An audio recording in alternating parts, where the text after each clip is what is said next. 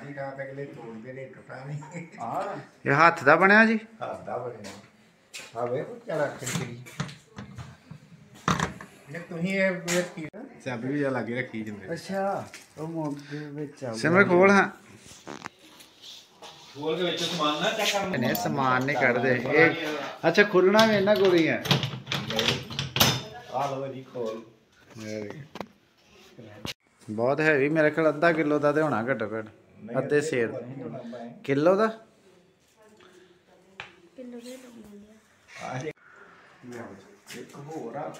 ਹੈ ਮੇਰਾ ਕੀ ਨਾਂ ਹੈ ਇਹਦਾ? ਤਲੋਕ ਸਿੰਘ ਅੱਛਾ ਅੱਛਾ।